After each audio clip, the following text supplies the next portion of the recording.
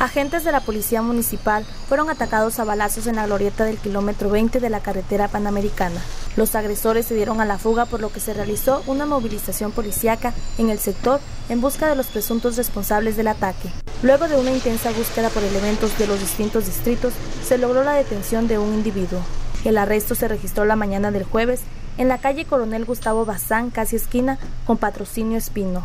Al parecer no hubo personas lesionadas sin embargo, se espera que durante las próximas horas las autoridades locales proporcionen mayores detalles. Diario TV informa.